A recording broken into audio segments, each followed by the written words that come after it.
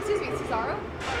Couldn't help but notice you laughing, and it seemed like you got a kick out of Sheamus losing tonight.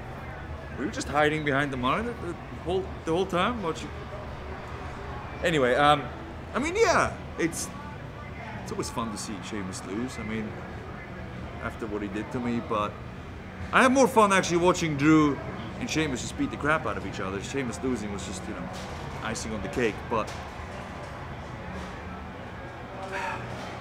you know, I'm still upset about Sheamus beating me last week, so I hope I can get in the ring with him fairly soon and, you know, pay him back for that. And it's fun watching Drew, and I've never had a match with Drew, so something to think about.